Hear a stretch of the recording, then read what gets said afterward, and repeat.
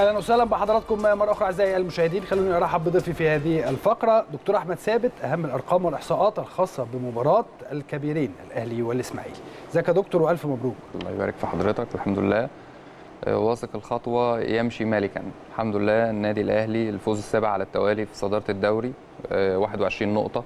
دايما الفوز المتتالي بيقلل دايما من عزيمة المنافسين اللي هو المتنافسين معاك على الصدارة. مهم جدا دايما الفوز المتتالي. النهارده النادي الأهلي كالعادة أقوى خط هجوم برصيد 19 هدف أقوى خط دفاع استقبال الشباك وهدف واحد بس. كمان 6 كلين شيت من سبع مباريات رقم كويس جدا. آه، يمكن الشوط الأول فارق شوية الشوط الأول عن الشوط الثاني الشوط الثاني اتحسنا كتير الفرق إن الشوط الأول إحنا كنا رد الفعل للإسماعيلي. الشوط الثاني إحنا الفعل. فده الفرق في يمكن الإسماعيلي كمان تحية للمدير الفني بتاعهم أدهم كابتن أدهم السلحدار عمل ستارة دفاعية في وسط الملعب بشكل مميز جدا. يمكن ده كان المنظر بالظبط الثلاثه على الثلاثه همام ماسك اليو ديانج بيلعب عليه man to man اللي هي طريقة ال man to man في وسط الملعب. وكذلك حسين الشحات وأمان من دونجا. ومن مخلوف محمد مخلوف بنفس الشكل ده فنوعا ما مع إن إحنا كنا رد فعل في الشوط الأول يمكن النادي الأهلي أول مرة كان يكون رد فعل تحديدا في الشوط الأول. ولكن الشوط الثاني مع خنق الخنقه في وسط الملعب ديت ونزول لعيب بخبرات وليد سليمان وبدأنا نلعب على الاطراف والأطراف تشتغل بشكل كويس عشان تحل المشكلة الترسانة الدفاعية أو الستارة الدفاعية اللي كان عاملها مدرب الإسماعيلي في الشوط الأول نجحت.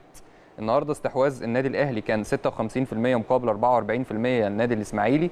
عدد التمريرات بتاع النادي الأهلي 382 مقابل 209 للنادي الإسماعيلي. عدد المحاولات كمان بتاع النادي الأهلي أكتر 13 محاولة منهم ثلاثة صح. والنادي الإسماعيلي سبعة منهم برضو ثلاثة صح. يمكن النادي الأهلي آه، فرق الخبرات ودايما حتى ممكن ما يكونش الأداء الطب ولكن الفريق الكبير هو اللي يعرف يكسب المباريات دي. دايما إن أنت تكسب المباريات حتى لو أدائك مش 10 على 10 ولكن تحصل على الثلاث نقاط ده الفريق الكبير.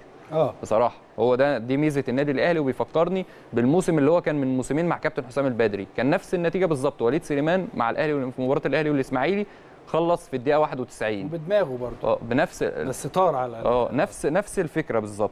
النهارده يمكن اللي تحيه كبيرة برضو زي ما اتكلمنا على أداء النادي الإسماعيلي. النهارده اليو ديانج اليو ديانج قدم مباراة يعني مكسب المباراة الأول اليو ديانج مم. يمكن كان بيلعب لوحده في وسط الملعب والاثنين اللي قدامه حسين الشحات وقفشة نوعا ما الأدوار الدفاعية بتاعتهم ما كانتش قوية قوي. اليو ديانج ده كساحه ألغام في وسط الملعب ومكسب كبير جدا النهارده في مباراة كبيرة زي قدام النادي الإسماعيلي. بتكسب لعيب زي اليو ديانج لعيب صغير في السن لعيب بصراحة أكتر. النهارده اليو ديانج عمل رقم أول مرة يحصل للنادي الأهلي.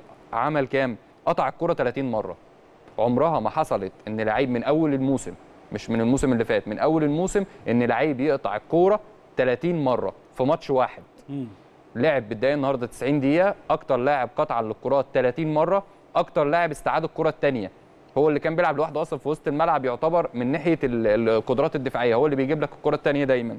23 مرة استعاد الكرة الثانية المراوغات الناجحة بتاعته اثنين صنع فرص واحد. محاولات على المرمى واحد. كمان بالنسبة التمريرات هو تاني أكتر لاعب قام بتمريرات 49 تمريرة. نسبة دقة التمريرات 92% ارتكب أخطاء يمكن اليو ديونج ارتكب أربع أخطاء. يمكن ديونج جاي. مكسب كبير محتاج بس إن هو يقلل الأخطاء شوية م- ارتكاب أربع أخطاء نسبة كبيرة. تاني حاجة إن هو ممكن يزود عدد التمريرات الطوليه في الفترة الجاية ولكن مكسب كبير جدا للنادي الأهلي. بتتكلم في لعيب قطع الكرة 30 مرة استعاد الكرة الثانية 23 مرة مكسب كبير ووحش في وسط الملعب للنادي الأهلي وهيفيدنا بشكل كبير جدا في المباريات الأفريقية. مم. لما كمان يرجع لك عمرو السولية مع وجود حسام عاشور إن شاء الله مع عودة حمدي فتحي هتبقى مكسب كبير جدا في وسط الملعب للنادي الأهلي. يمكن رقم اثنين وليد سليمان. وليد سليمان النهارده رابع بديل بيسجل مع النادي الأهلي مع فايلر من بداية الدوري. مم. يعني التغييرات رابع بديل بيسجل رابع مرة تحصل. وليد سليمان هو هداف النادي الأهلي في الدوري برصيد خمس أهداف حتى الآن. مم. هداف الهداف نسميه الهداف. وهو هداف القائمه الحالية في النادي الأهلي في جميع البطولات. مم. وليد سليمان وصل لرقم 54 هدف مع النادي الأهلي. في 232 مشاركة. 232 مشاركة مسجل 54 هدف ونقدر نسميه الموسم ده وليد سليمان الهداف. عايزين نسميه البديل السوبر ماشي عايزين نسميه الهداف ماشي لأنه هو النهارده هداف النادي الأهلي برصيد خمس أهداف. مم. رقم ثلاثة محمد الشناوي هناك حراس مرمى وهناك محمد الشناوي في مصر حاليا. فرق كبير واضح جدا الفرق ما بين الحراس.